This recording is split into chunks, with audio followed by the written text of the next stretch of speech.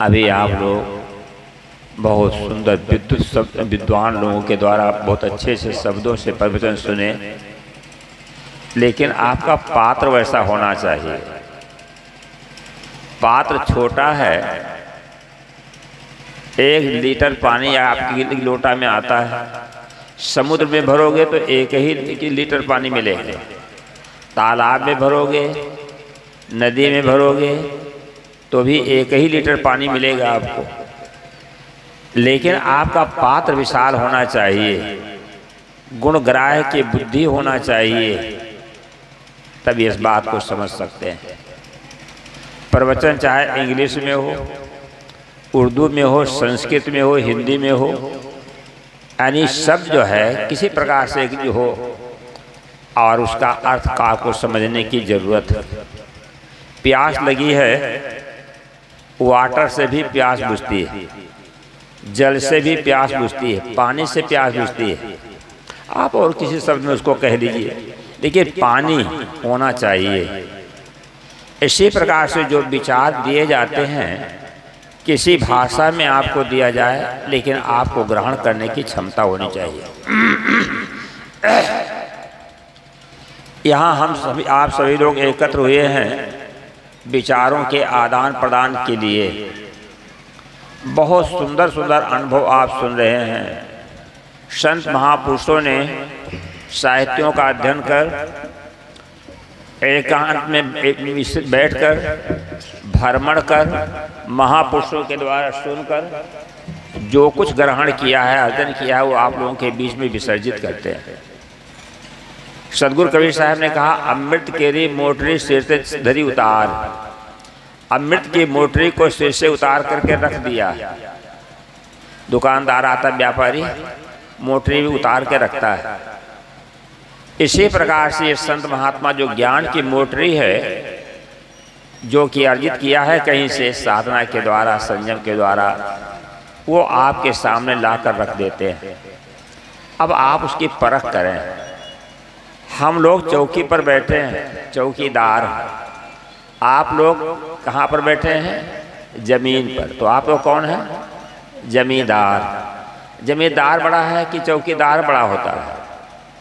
जमींदार बड़ा होता है। हम लोग गुहार लगाते हैं, चौकीदार हैं। समझे ना चौकीदार केवल पहरा देता है, जगाता है सबको। ये संत गुरुजन विभिन्न प्रांतों में जा जा करके जगाते हैं। सदगुरु कबीर देव ने भी वही काम किया। देश विदेश से हम फिरा।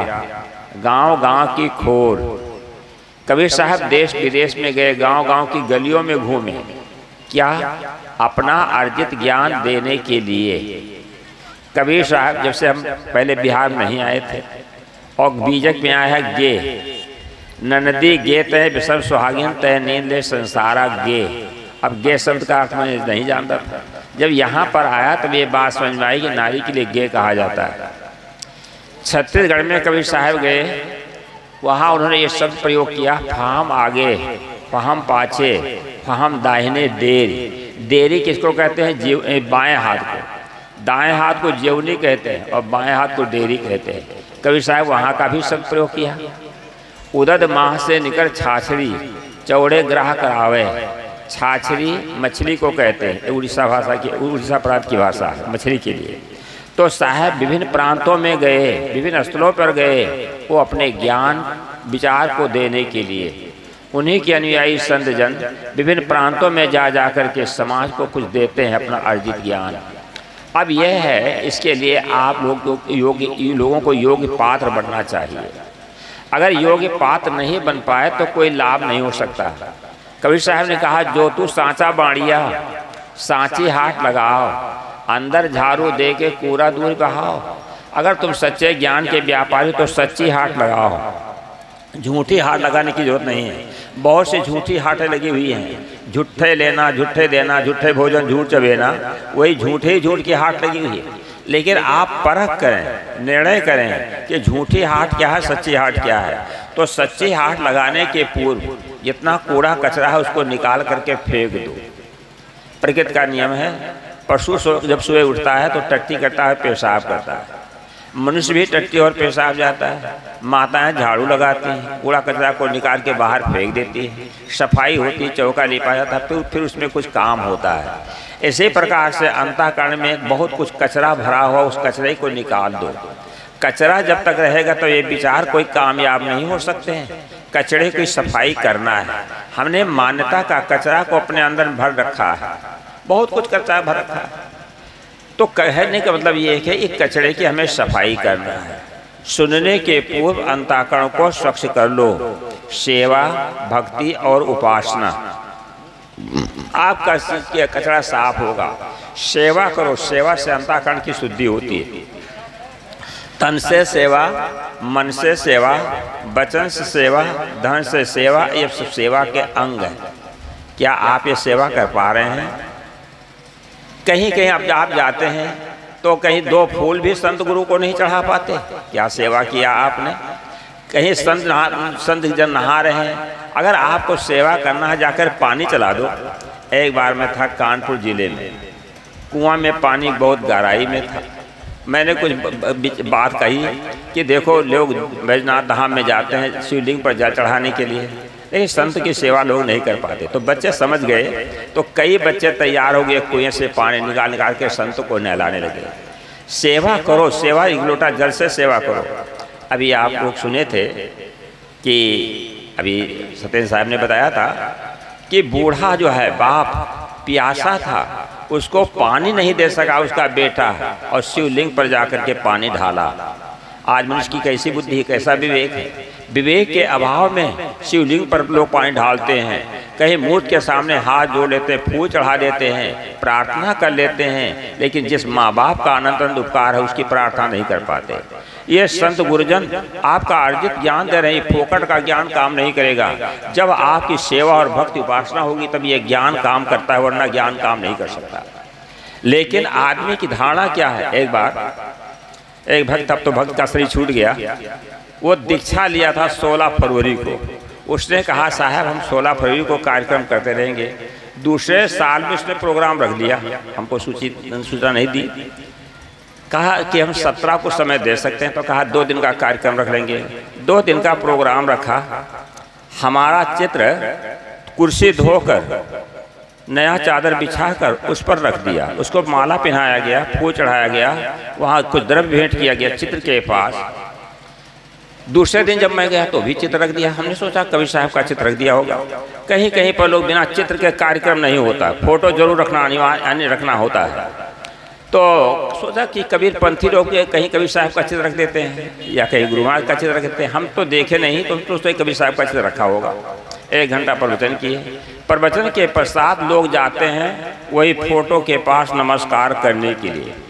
फूल चढ़ाते हैं वहाँ पर, पैसा भी चढ़ाते हैं, और वहाँ माला जो लगे, माला भी चढ़ा देते पैसा। और बताइए चित्र के पास।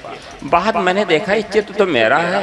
हम ज़िंदा बैठे हैं अपने गाड़ी से आए हैं, कितना डीजल जला है हमारा, लेकिन हमको कोई कोई पैसा नहीं चढ़ाता है, फूल नहीं चढ़ाता है, और फ़ोटो को माला चढ़ाया जाता है, फूल चढ़ाया जाता है, द्रव्य भेंट किया जाता है। कैसी बुद्धि आदमी की?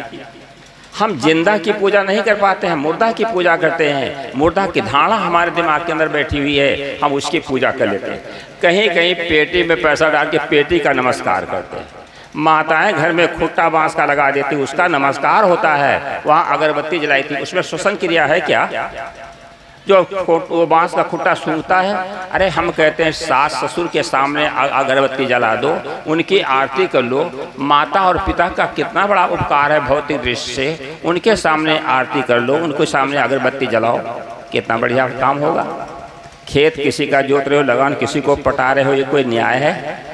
माता और पिता का कितना बड़ा उपकार है, गुरु संत का कितना बड़ा उपकार है। अब वहाँ पर आप कहीं दो फूल नहीं चढ़ा सकते, कहीं प्रसाद भी नहीं चढ़ा सकते, कहीं और द्रव्य नहीं भेंट कर सकते। बताइए कहाँ से ज्ञान आपको होगा? ये सीख लो। ये बातें बार बार बताई जाती हैं, ना कुछ जान तो सेवा ठान। अगर कुछ नहीं जानते तो सेवा ठानो। संत महात्मा की सेवा करो। क्या हो पाता है? कितने ऐसे लोग हैं? लाखों, लाख रुपया खर्च कर डालेंगे बेटा बेटी की पढ़ाई लिखाई में बेबार शादी में। लेकिन किसी, कभी गुरु जी को भी एक एक कपड़ा नहीं दे पाए होंगे। और संतों को देने की तो बात ही दूर नहीं। क्या आप क्या चाहते हो? तुम दूसरों को वो देते रहना जो दूसरों से स्वयं चाहते हो। जैसा भी दोगे, वैसा प्रकृति से बहुगुना तुमको पाना ही होगा। प्रकृति तुमको कई गुना लौटा करके दे देगी। तो क्या आप ये करना जानते हैं? एक बार। गुरु जी आए भक्त यहाँ तो वो स्नान करा रहा था। कुछ लोगों की धारणा होती है कि गुरु जी को हम स्नान करा दें उनके कपड़ा धो दें। गुरु जी के लंगोटी फट गई थी। तो गुरु जी ने कहा बेटा लंगोटी फट गई है। गुरु जी का इशारा कहा गुरु जी बैसाख में आइएगा तब मैं लंगोटी ला दूँगा। हाँ, लंगोटी फट गई अभी एक बिता कपड़ा की आवश्यकता होती। है गुरु जी बैसाख में आइएगा तो मैं लंगोटी ला दूँगा। पत्नी बड़ी समझदार थी। कहीं पत्नी समझदार होती, पुरुष गड़बड़ होता है कहीं पुरुष समझदार होता, पत्नी गड़बड़ होती, कहीं दोनों गड़बड़, कहीं दोनों ठीक होते। पत्नी ने सोचा कि गुरु जी को लंगोटी की ज़रूरत है, एक बिता कपड़ा की तो बैसाख बुला रहे। पत्नी मक्कर करके रोने लगी। कहावत है, गाड़ी का चक्कर और मेहरी का मक्कर और भेड़ा का टक्कर बड़ा कठिन होता है। भेड़ा उत्तर प्रदेश पाते डू तो आएगा, पैर में ठोकर मार के चला जाएगा। और नहीं तो मारेगा। तो स्त्री मक्कर करके रोने लगी, आँख से आँसू गिराने लगी। पति ने पूछा, क्या हो गया? कहा, पेट में पीड़ा हो गई कुछ झाड़ फूक करवाया, पंडित जी को बुलाया गया, गला दशा देखा। लेकिन वो ठीक नहीं हुई, डॉक्टर बुला लाया तो भी दवा दिया, लेकिन ठीक नहीं हुई। क्योंकि वो बीमार थोड़े से मक्कर था उसका। उसने कहा, एक बार मैंने मनौती किया था, पाँच साधु को भोजन भंडारा देने के लिए और वस्त्र दान करने के लिए मैंने कहा था, वो नहीं हो पाया। बेचारा मरता, क्या नहीं करता? पाँच साधु को ढूंढ करके लाया विचारवान संत भी नहीं मिलते हैं जल्दी। उनका समय ही नहीं है। बहुत लोग आग्रह करते हैं तो भी जल्दी नहीं मिल पाते। तो किसी प्रकार से पाँच साधु को ढूंढ करके लाया। भंडारा दिया और इसके बाद तीस पैंतीस मीटर कपड़ा ला करके सबको पाँच पाँच मीटर का चला और लंगोटी साफी दिया। ये सब हो गया। इसके बाद अब वो ठीक हो गई। बीमार थोड़े रहे तो मनखरा था उसका। अब गुरु जी के पास जाती है वो पत्नी। कहा, गुरुदेव, ये भगत जी किसके चेला हैं? गुरु लोग कहते कि नहीं, हमारे चेले हैं ना? ये हमारे चेले हैं। गुरु जी ने कहा, हमारा चेला है। कहा गुरु जी आप झूठ बोलते हो। कहा, मैं झूठ तो कभी नहीं बोलता। कहा गुरु जी आप ये बताइए, आपको एक बिता कपड़े की आवश्यकता थी लंगोटी की, और भगत जी ने वादा किया कि बैसाख में आइएगा, तब तक आप बिना लंगोटी के रहेंगे। और मैंने कहा तो हज़ारों रुपया भगत जी ने खर्चा किया। अब आप ये निर्णय दीजिए जो है तो जो है, किसके चेले हैं भगत जी? तब गुरु जी ने कहा, असली चेला तो तुम्हारे समझ में बात? असली चेला तो नारी के नारी पुरुष की चेला बनती है और पुरुष नारी का चेला चेला बनती है। बनता है। तो अब ये बताओ जब चेला जिसका बना जहाँ श्रद्धा होगी समर्पण भावना होगी तो उसका परिणाम भी तो सामने आएगा। जैसे आपकी श्रद्धा होगी वैसा फल आपको मिलेगा। संसार में जो है फंसे हो तो क्या फल आपको मिल रहा है? कभी शायद ये आप क्या फल मिलता है, है? तो इस प्रकार से बंधन केवल मिलता है। केवल बंधन। संसार में फंस कर दो चार बेटी बेटा हुए ज़िंदगी भर रोना पड़ता है। शादी करके बच्चे और बच्चियों को ज़िंदगी भर के लिए हलाल करते हो रोने के अलावा उनको मिलता क्या है? आप पहले देखो, हम लोग थोड़ा सा इशारा करते हैं, लेकिन आप लोग प्रैक्टिकल रूप में डूब करके ही देख रहे हो क्या है? दो चार बेटी हुई तो बारह बजे रात में दिमाग में सूर्य ग्रहण लगता है। कैसे निभेगा? अब एक एक पैसा इकट्ठा कर दो बेमानी शैतानी मिलावटबाजी घूसखोरिया जिस प्रकार से धन इकट्ठा करते हो और बेटी को देना पड़ेगा दमाद आएगा फरमाइश करेगा और उसको देना पड़ेगा आपको। मोल तोल होता है इतना लाख लेंगे इतना लाख लेंगे ये सब आता है। और दो चार बेटियाँ हो गई तो समझ लो गृहस्थी में क्या दशा होती। बेटा अगर बात नहीं मानता है, कुपुत्र हो गया, माँ बाप किस आशा से उसकी उसकी सेवा करते हैं बेटे बेटे की? और बेटा जब का बात नहीं मानता है, माँ बाप की तो कितना बड़ा कष्ट होता है। ये ज़िंदगी भर रोने का काम करते हो। अगर गुरु संत की सेवा करो तो निश्चित है, प्रसन्न रहेंगे आप। आप ये समझो, देखो संतों को। आगे सोच न पाछे गुन्ना और कहाँ कभी बैठ रहा मुन्ना, है कोई चिंता? आप लोग खुद सेवा करते हैं। आप घर का बेटा अगर कहीं साधु हो जाता है तो आप चरण धोते हैं, उसका चढ़ामित लेते हैं, पूजा आरती करते हैं। कोई बेटा, अपने बेटा का जो घर में बेटा रहता है, उसका कोई पूजा आरती नहीं करेगा। बेटा माता और पिता की आरती पूजा नहीं करेगा, चरण धोकर चढ़ामित नहीं लेगा। लेकिन इस साधुओं को समझते हो कहाँ कहाँ पैदा हुए कहाँ कहाँ जन्मे कोई पूछता है? जात पात पूछे नहीं कोई। हरिका बजे सो हरिका होई। ये संत की पूजा करते हो। क्यों? गुण के नाते। तो वो गुण संतों में है। कभी साहब ने कहा, मानुष तेरा गुण बड़ा मांस ना आवे काज हाड़ न होते आवरण तो न बाजन बाज। हे मानो, तेरे गुणों की विशेषता है। ये संत लोग गुड़ी है। उनके पास गुण है, इसलिए संत लोग पूजे जाते हैं। विभिन्न प्रांतों में उनकी पूजा होती है और सब प्रकार से तन और मन और धन से उनकी सेवा करते हैं।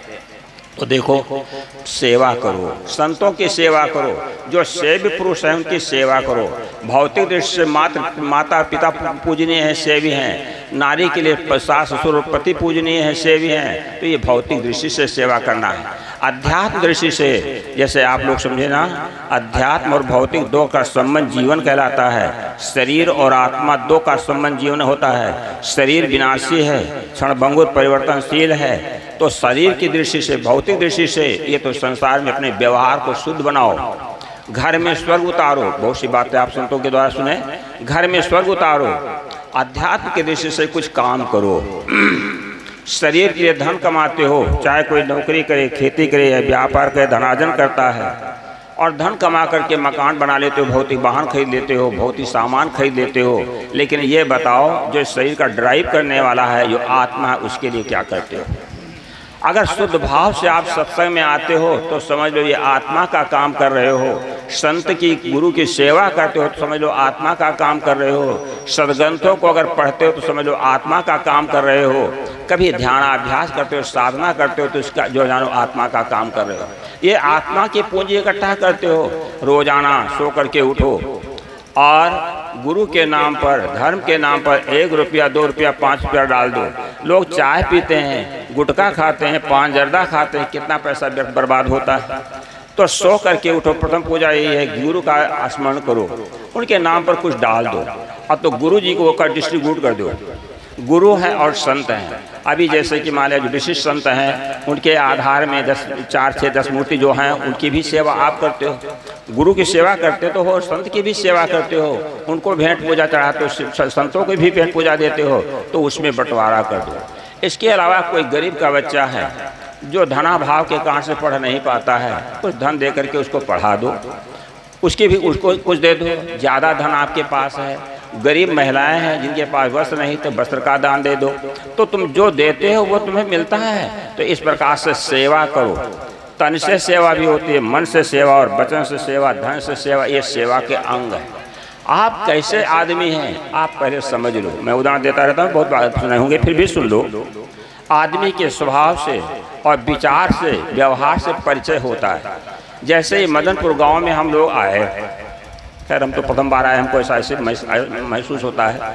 यहाँ पर मकान बढ़िया बढ़िया हैं, कि यहाँ के लोग सुंदर मुंदर हैं, यहाँ की व्यवस्था बढ़िया है, क्या है? आपका व्यवहार कैसा है? व्यवहार से भी जाना जाता है। आदमी चार प्रकार का होता है, दानी, उदार, सुम और मक्खी चूस। दानी उसको कहते हैं, अपना न खाकर दूसरों को खिला देता है। उदार कहते हैं, अपना खाता है, दूसरों को खिलाता है। सोम कहते हैं, अपना खाता किसी को खिला नहीं पाता है।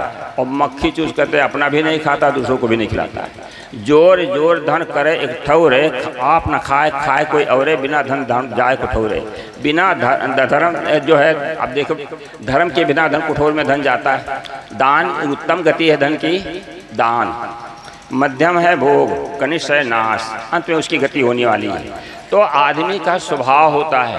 और एक बात आप समझ लें, आदमी जन्मजात स्वभाव को लेकर के जन्मता है। किसी का स्वभाव उदार विचार का होता है, किसी का दानी स्वभाव होता है। जैसे कि हरिश्चंद्र मोरद इत्यादि दानी कहे जाते हैं। तो ऐसे बहुत से हैं। तो इस प्रकार से कुछ दो देने का एक अभ्यास बना लो। तो इस प्रकार से करना चाहिए। सुन लो उदाहरण। एक सूरदास थे। सूरदास कहीं भटकते भटकते राजा के यहाँ पहुँच गए। राजा ने कहा, सूरदास को भात वात दे दिया को तो नमक भात रोज मिलता था। एक दिन सूरदास कोई हीरा बेचने के लिए लाया जौहरी। सूरदास ने कहा, सरकार, हीरा हमको दिखा दो। हीरा उसके हाथ में दिया जाता तो हीरा को लेता है हाथ में। कहा, सरकार, ये हीरा नकली है। ये हीरा खरीदने लायक नहीं है। तो जौहरी ने कहा, ये अंधा आदमी कैसे जान गया हीरा नकली है? सूरदास ने कहा, सरकार, हीरा की परीक्षा की जाए। अगर हीरा नकली है तो दस लाख रुपया जौहरी को दंड देना होगा, अथवा सरकार को दस लाख में खरीदना होगा। हीरा की परीक्षा की गई, हीरे पर चोट मारी गई तो नकली, हीरा नकली था चकना चूर हो गया। दस लाख रुपये रुपया जौहरी को दंड देना हुआ। राजा ने कहा, सूरदास को आज से दाल भी दे जाए। तो नमक भात मिलता था ना? दाल भात मिलने लगी। एक दिन कोई घोड़ा बेचने के, के लिए लाया। है तो सूरदास ने कहा सरकार घोड़ा हमको दिखा दो। घोड़ा के पास ले जाते हैं तो टटोलता है। कहा सरकार ये घोड़ा खरीदने योग्य नहीं है। ये भैंस का दूध पिलाकर घोड़ा पोसा गया। है व्यापारी ने कहा ये अंधा आदमी कैसे जान गया कि भैंस का दूध पिलाकर पोसा गया है? सूरदास ने कहा सरकार पता लगाया जाए। अगर भैंस का दूध पिलाकर पोसा गया तो दस हज़ार रुपया व्यापारी को दंड देना होगा। अथवा सरकार को दस हज़ार में खरीदना पड़ेगा। पता लगाया गया तो जब बच्चा जन्मा था तो घोड़ी मर गई थी। तो भैंस का दूध पिलाकर पोसा गया था, ये भी बात सही ठार गई। राजा ने कहा सूरदास को आज से सब्ज़ी भी दी जाए। दाल, भात, सब्ज़ी मिलने लगी। एक दिन राजा ने कहा सूरदास जरा बता दो, मेरी रानी कैसी है? सूरदास ने कहा, सरकार हाथ जोड़ते कि सर, आप क्षमा करिए, इसको न पूछा जाए। कहने तो सूरदास तुम्हें बताना पड़ेगा? अच्छा तो सूरदास ने कहा अच्छा रानी हमारे सामने होकर के निकल जाए। बेचारे के आँख तो है नहीं। रानी के लिए आदेश हुआ तो सूरदास के सामने रानी क्षमा क्षम करके निकलती है। तो सूरदास ने कहा, सरकार, ये बेसा की पुत्री पता लगवाया तो राजा का ससुर बेसा रखता था। लड़की सुंदरी थी, शादी हो गई। तो ये भी हो गया कि बेसा की पुत्री है। राजा ने कहा, सूरदास को आज से रोटी भी दी जाए। दाल, भात, रोटी सब्ज़ी मिलने लगी। एक दिन राजा ने कहा, सूरदास, तुम सुनने सब कुछ बताया, सही ठहर गया, लेकिन मुझे बता दो, मैं कैसा हूँ? सूरदास हाथ जोड़ता कि सरकार, न, इसको न पूछा जाए, क्षमा कर दिया जाए। कह नहीं, सूरदास तुम्हें बताना पड़ेगा। तब सूरदास ने कहा, सरकार बनिया की औलाद है। राजा की माँ ज़िंदा थी। माँ के पास तलवार लेकर जाता कहा, माँ सच सच बतला, मैं किसके द्वारा पैदा हुआ हूँ? अगर नहीं बतलाती है तो तेरा गला काटूँगा, इसके बाद अपना गला काट के मर जाऊँगा। माँ ने कहा, बेटा, जब मेरी शादी हुई, कई वर्ष बीत गए, कोई संतान नहीं हुई।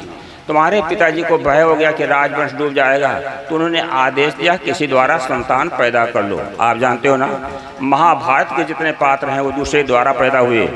और जो है रामायण के पात्र, वो भी दूसरे द्वारा पैदा हुए। तो माँ ने कहा कि बेटा, तुम्हारे पिताजी के आदेश अनुसार एक स्वस्थ बनिया था राजमहल के सामने, उसी से मैंने प्रेम किया, तुम्हारी पैदाइश हो गई। ये भी बात सही ठार गई कि राजा बनिया की औलाद है। राजा को फिर शंका हो गई, फिर पूछता है, सूरदास की सूरदास, तुम ये बताओ, तुम्हारे आँख नहीं, तुमने जाना कैसे? तब सूरदास कहते हैं कि हल वज़न से, हीरा परखा, घोड़ा परखा काने से। सुन लोगों को, अब सिक्का दो या नोट दो, पर हाथ से टटोल के जान जाते हैं। कहा, सरकार, हीरा को जब मैंने हाथ में लिया तो हल्का मालूम पड़ा, उसमें वेट नहीं था। अगर हीरा असली होता तो वज़न होता। तो हलुक वज़न से हीरा परखा, घोड़ा परखा काने से, घोड़ा घोड़ा अपने माँ का दूध नहीं पिया। घोड़ा का कान लूज टाइट होता अगर अपने माँ का दूध पिया होता तो घोड़े की परख हुई कान से। और रानी की परख चमक दमक से रानी परखा, रानी के चाल से परखा गया कि रानी बेसा की पुत्री है। और सरकार की परख दान से हुई। जब दस लाख का लाभ हुआ तो सरकार ने हमारे लिए दाल बढ़वाई। दस हज़ार का लाभ हुआ तो सरकार ने लिए हमारे लिए सब्ज़ी बढ़वाई रानी के विषय में जब परखा तो हो सकता है रानी हमको फांसी दिलवा देती। तो सर तो रानी के विषय में नहीं परखा। तो फिर सरकार ने हमारे लिए रोटी बढ़वाई। सरकार ने ये नहीं कहा, सूरदास को थोड़ा दूध दे दिया जाए, घी दे दिया जाए घोर मट्ठे दे दिया जाए। सरकार ने बनौटी किया, इसलिए पता चला कि सरकार बनिया की औलाद है। राजा अपनी करनी पर लज्जित हुआ। तो कहने का भाव यह है कि आदमी का स्वभाव कैसा होता है? बहुत सी माताओं की इतनी श्रद्धा होती कि साधु गुरु को हम क्या क्या खिला दें? कितनी हम सेवा कर लें? भाई लोगों के भी ये होता है। हम तो भाई बिहार में उन्नीस सौ चौरासी से हमारा कार्यक्रम बिहार में चलता है। लोगों को जब मैं कहता हूँ कहीं कि आप आइए कहीं बिहार में अरे कहे बाबा हम नहीं जाएँगे बिहार में ट्रक लूट लेते हैं लोगों को मार देते हैं। हम कहा ऐसी बात नहीं। हम उन्नीस सौ चौरासी से बिहार में हैं। हमको तो बिहार हमारा घर ही हो, हो गया है ऐसा लगता है। और जो सेवा हमको बिहार में मिलती है वैसे अन्यत्र कम मिल पाती है? आश्रम हमारा बाहर में है। कटिहार में भी जो आश्रम बाहर एक बियावा है वहाँ पे। बघवा में जो आश्रम है वो भी बाहर ही है। लेकिन कोई ऐसी अप्रिय घटना नहीं घटित हुई ना हमारे साथ ऐसी घटना घटित हुई है। सब सेवा करते हैं। तो व्यक्ति जैसा होता है, उसको उसी प्रकार से मिल जाते हैं। एक गाँव में एक बूढ़ा था, एक व्यक्ति आया, कहा, बाबा, इस गाँव में आदमी कैसे हैं? बुढ़े ने पूछा कि, बेटा, जहाँ से तुम आए हो, वहाँ के आदमी कैसे हैं? तो लड़के ने कहा, उस गाँव में बहुत गलत लोग रहते हैं, वहाँ मैं परेशान हो गया हूँ, इसलिए मैं यहाँ आया हूँ। कहा, बेटा, उससे भी खराब लोग यहाँ रहते हैं। दूसरा लड़का पूछता है कि बाबा, इस गाँव के आदमी कैसे हैं? हम यहाँ रहना चाहते हैं। कहा, बेटा, जिस गाँव से आए हो, वहाँ के लोग कैसे हैं? कह के, वहाँ के बड़े लोग सज्जन हैं। बहुत शरीफ लोग वहाँ पर रहते हैं। कुछ कारण बस मुझे आना पड़ा है मैं फिर वापस चला जाऊँगा। कहा, बेटा, तुम्हारे लिए यहाँ जगह, तुम यहाँ रह सकते हो। तीसरे व्यक्ति ने पूछा कि बाबा, ऐसा क्यों कहा कि यहाँ बहुत खराब लोग रहते हैं और उससे कहा बहुत अच्छे लोग रहते हैं? तो कहा कि जो जैसा होता है उसको वैसे लोग मिल जाते हैं। अगर हम खराब है तो समाज, संसार का खराब मिलेगा।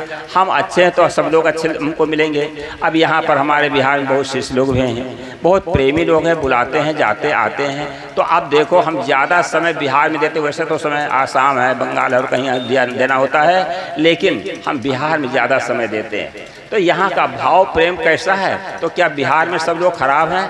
हर जगह ना खराब है, ना अच्छे हैं। अच्छे और खराब हर जगह हुआ करते हैं। तो कहने का मतलब जो व्यक्ति जैसा होता है, उसको वहाँ पर वैसे लोग मिल जाते हैं। अपना स्वभाव का, अपने विचार का, अपने आचरण का परिचय देना चाहिए।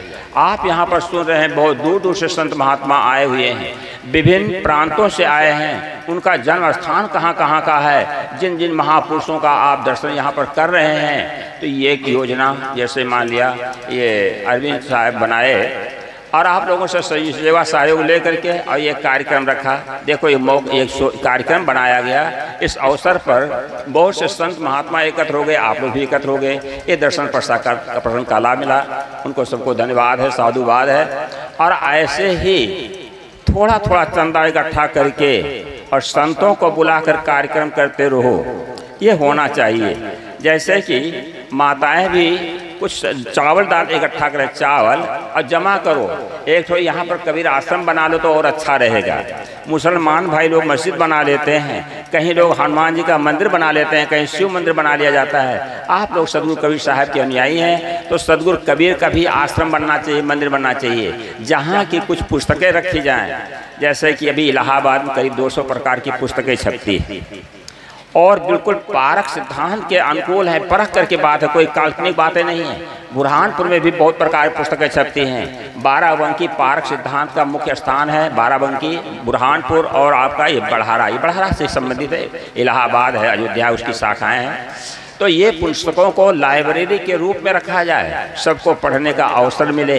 तो अंधकार है वहाँ जहाँ साहित्य नहीं है। अंधकार है, वहाँ जहाँ आदित्य नहीं है, मुर्दा है, वह देश जहाँ साहित्य नहीं है। साहित्य अगर आपके पास रहेगा तो महापुरुषों के अंताकरण का जो विचार है, उसमें लिखा हुआ है। संत जन एकांत में अनुभव करके और जो कुछ लिखते हैं और छपवा करके आपको कुछ पैसे में देते हैं, वो ज्ञान का कोष आपके पास रहता है।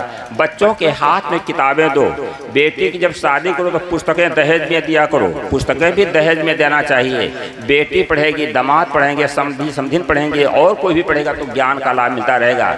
यह सब सीख लो। एक जगह मैंने प्रवचन किया तो वो भक्त थे, वो पुस्तक खरीदे और पुस्तक खरीद के के है, क्या, जगन मीमांसा और कबीर दर्शन दो दो प्रति खरीदा, अपने बहनोई को भेंट किया और अपने दामाद को दिया भेंट में। सज्जनों, इससे क्या होता है? ज्ञान का कोष देते हैं। ये माताएँ क्या करती हैं? बक्सा को पेट, रंग, पाउडर और सिंदूर इत्यादि से भर देंगी। आभूषण से। लेकिन ये नहीं है अपने प्रिय बेटी को, जरा किताब को दे दो। कुछ बढ़िया संतों के चित्र बंधवा करके दो। चित्रों को लोग देखेंगे तो मन पर अच्छा प्रभाव पड़ेगा।